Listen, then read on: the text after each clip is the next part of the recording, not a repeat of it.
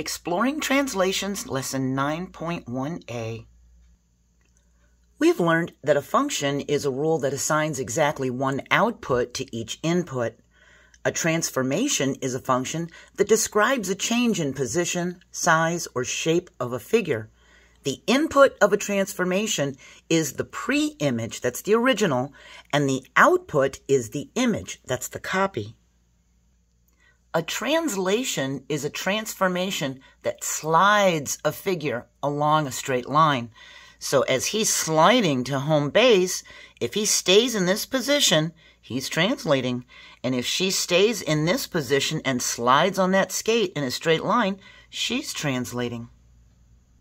So it's a little hard to tell. This might look black, but this is a dark blue. It's a blue triangle that's shown on the grid. This is the pre-image, the input and this red arrow shows the motion of the translation and how point A is translated to point A prime. See that little mark up there?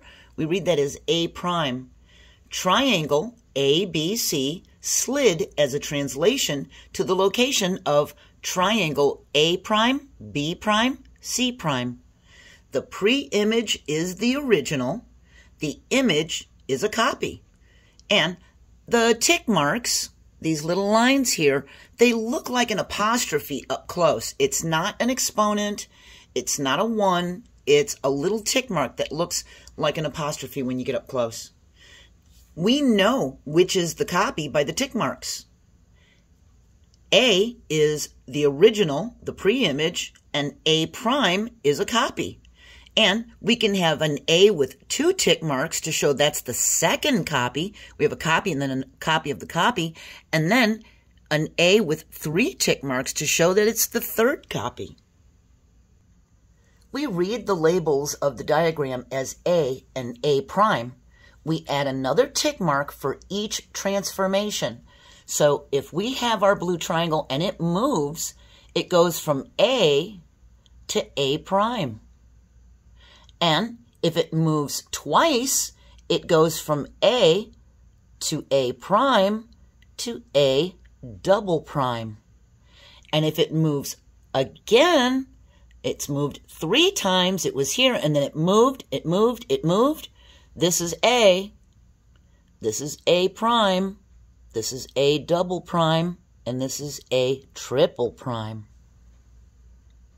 By looking at those tick marks, we know how many times it moved. We can cut out a copy of triangle ABC from a piece of paper, and I've got my cutout. It fits right on there. See that? We can slide the cutout triangle along the red arrow to model the translation that maps point A to point A prime. If I put this here, I can slide it along so that it goes to A prime.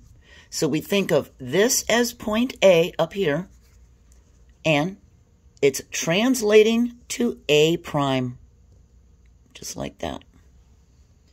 The triangle A prime, B prime, C prime is the image of the translation. Now, this grid shows triangle ABC translated 11 units to here, and then two units down, one, two. So each point, A went 11 units to the right and two units down. B went 11 units to the right and two units down. And C went 11 units to the right and two units down. The orientation of triangle ABC, the blue one, did not change. It just slid to the right and down. We didn't spin it around. We didn't flip it. It just slid like that. A translation is just a slide to a new location. The pre-image doesn't change in size, doesn't turn, doesn't flip.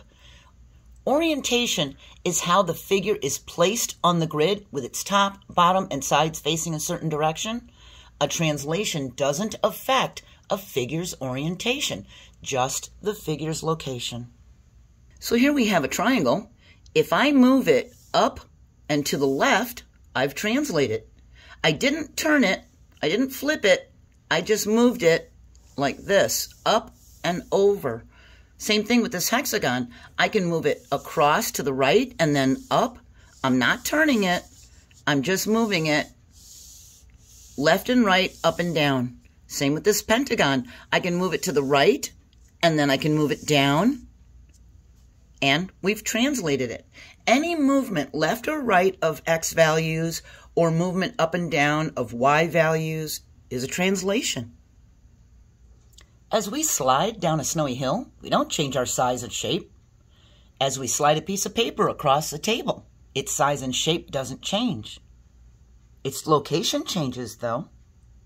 We're finished with 9.1a. We're moving on to B, Properties of Translations. I hope you enjoy the rest of your day and join me for Part B. Bye.